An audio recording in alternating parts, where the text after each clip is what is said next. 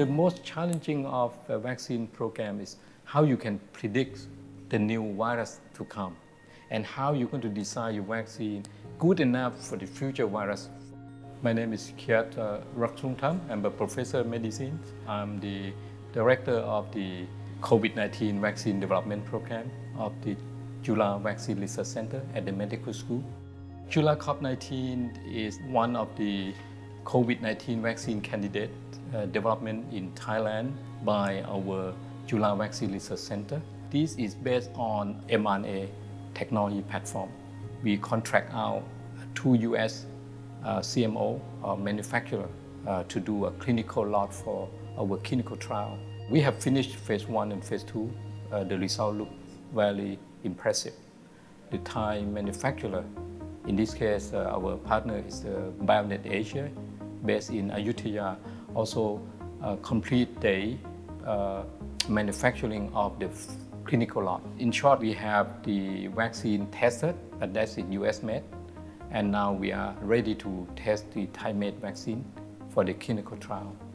When we start uh, our development, we start only one month behind Pfizer Moderna. At that time, we no one know yet that the mRNA is going to, to work. We, we are small research center, less funding compared to them. But we learned that this vaccine candidate in mice, in monkey, work very well. It's very strong immune response and safe. In our situation, we already have uh, infrastructure, we have some capability. We should try to make our own vaccine. To prove that this platform in Thailand, it works and safe, now we plan to move on. We plan to start manufacturing second generation. Our own vaccine at the end is not for Thailand, but how we can be part of the major player to fight against any pandemics in the near future. So I think that's our goal. A lot of milestone has been reached. So the vaccine has been proven in human, phase one and phase two, safe and highly immunogenic. And the dose that we select for phase two and we finish it uh, has shown that is comparable to approved vaccine like Pfizer. The Thai-made vaccine already finished, uh, and now we are waiting for the green light to do a clinical trial in Thailand and to confirm that whether that is uh, safe and immunogenic. Uh, and then we can go further uh, for larger scale uh, study and get authorization for approval. So we have Omicron plus other variant vaccine, so we'll be bivalent, so two two type of uh, variant in there. So Gen 2 probably we might be able to start phase one sooner uh, uh, by the end of the year early next year. And then hopefully we will submit approval for Gen 2 uh, sometime next year. So that's the plan.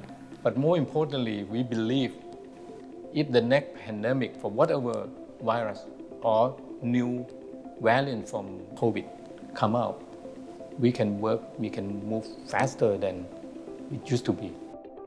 Never before would I say that Thailand had three or four vaccine candidates get into clinical trial.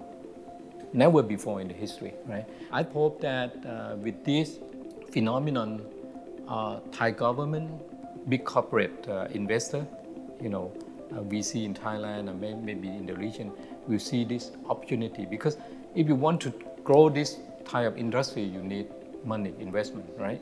Commitment by the government, the policy.